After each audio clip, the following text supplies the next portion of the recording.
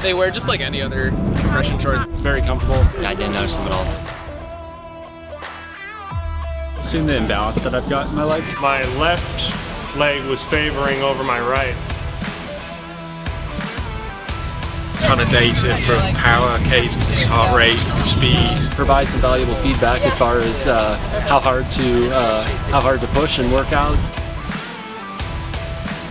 Oh yeah, that was fun. I would definitely do it again. Absolutely.